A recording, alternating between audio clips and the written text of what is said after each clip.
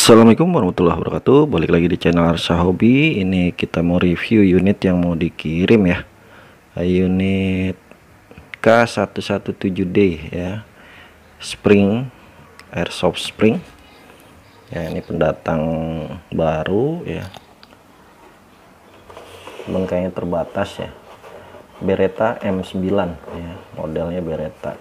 Terus di sini uh, mereknya dulu apa sih? Mereknya itu ya smart. Terus di sini ada tulisan metal version atau ver edition ya. Metal edition 18 tahun ke atas ya. Oke.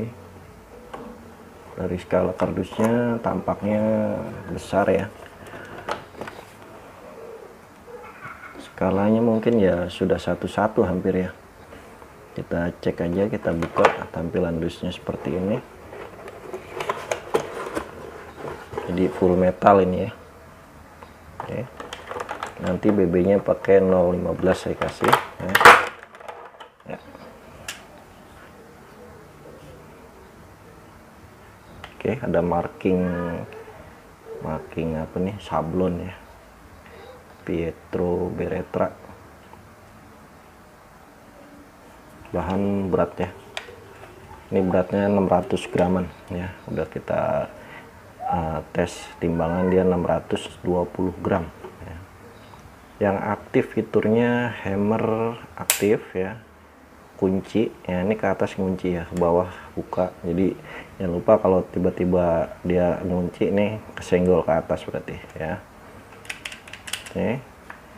Genggamannya masih lebih berarti skala udah satu-satu ini ya cuman kalau dilihat dari tampilan depannya kayaknya dia lebih ramping daripada yang versi Tokyo Marui ya. Cuman skala di tangannya udah satu-satu nih hammernya ya. Ya. Oke, anggaplah satu-satu ya kalaupun kurang kurang dikit ya. Oke. Tampilannya sudah ada hop upnya outernya metal tidak ada open bolt ya. Ya. Ini udah saya isi BB ada oh ada satu dong ya, ya. coba. Ya. Dia tidak ada open boltnya. Jadi aman nih kalau untuk spring ya. Kalau misalnya spring ada open bolt itu kita risih.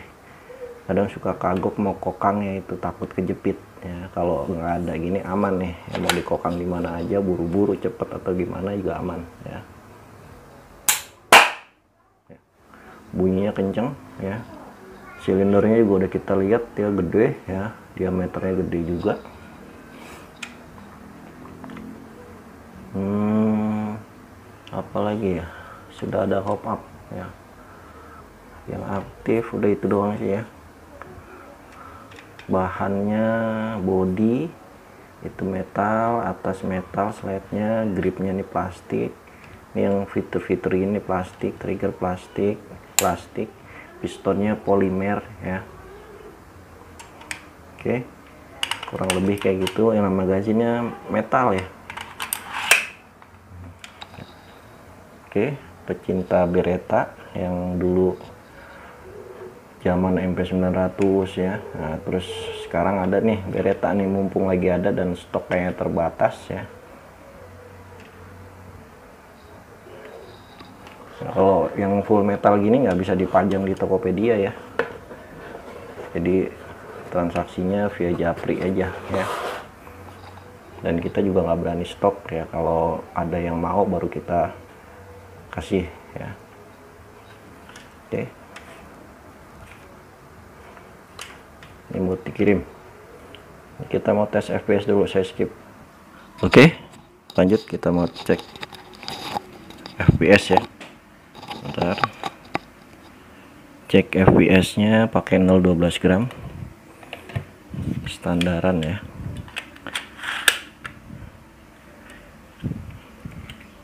Wah kekunci tuh ke atas. Turunin dulu. Nggak bisa dikokang kalau ke atas ya. Oke, tes.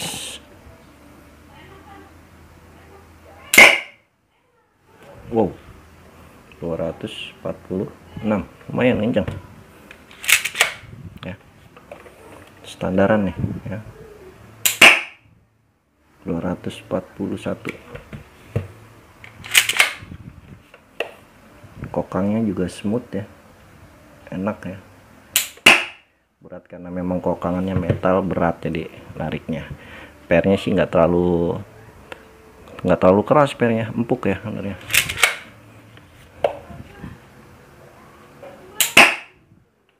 dua ratus tiga puluh.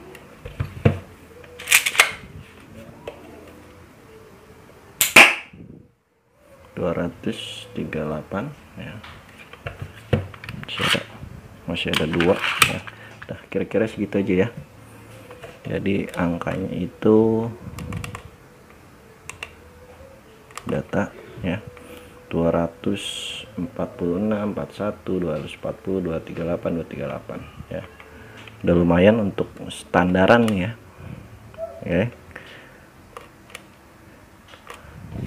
Oke lanjut nanti kita tes uh, akurasi. Oke. Uh, lanjut ke tes akurasi ya. Dia sudah ada hop up nya dan saya pakai 02 oh, 015 gram ini ya karena tampaknya dia hop upnya mesti dibersihin dulu karena ada minyaknya kayaknya ya. Biasa unit-unit ini ya.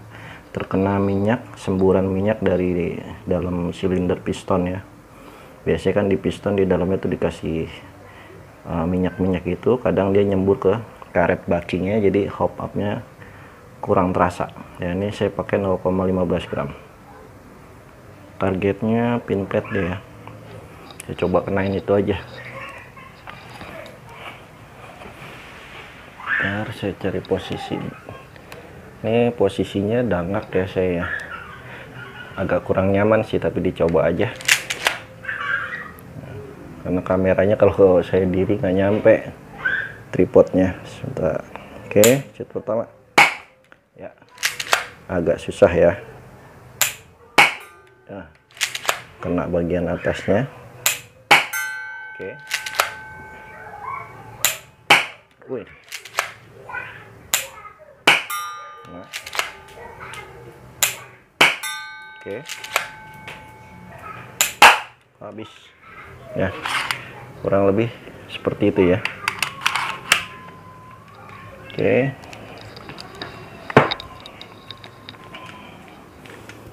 bersihinnya pakai tisu kering ya dibulat-bulat gitu seukuran bebek jangan terlalu tebal juga masukin ya. Nanti saya coba bersihin aja ya sebelum dikirim. Oke kurang lebih seperti itu performanya. Uh, review singkat aja sih ya. Jadi buat pecinta beretta ya wajib punya nih ya. Buat koleksi cakep banget ya.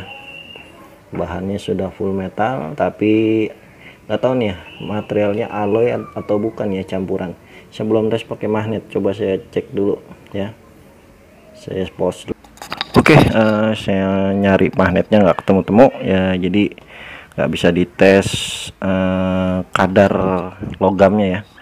Dia magnet nempel atau enggak ya yang jelas berbahan metal ya. Oke itu aja. Terima kasih. Assalamualaikum warahmatullahi wabarakatuh